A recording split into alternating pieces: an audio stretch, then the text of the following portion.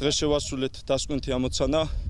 დღეს ჩართული იყო როგორც ამერიკული ისე ქართული ქვედანაყოფები, გამოყენებული იყო სხვადასხვა სახის შეიარაღება, ეს იყო M4-ები, სნაიპერული შაშხანები, 300 მმ-იანი ყუმბარტყოცნები, ასევე გამოყენებული იქნა ჩვენი ძიმეთყვიამფრქვევები. ამოცანა შესრულდა წარმატებით, განადგურებული იქნა მოწინააღმდეგე სულად დანაკარგის გარეშე. We're here in Vaziani, Georgia to participate in Operation Noble საქართველოს ვიმყოფები რათა ქართულ სამხედროებთან ერთად მონაწილეობა მივიღო ერთობლივ სწავლებაში ღირსეული პარტნიორი.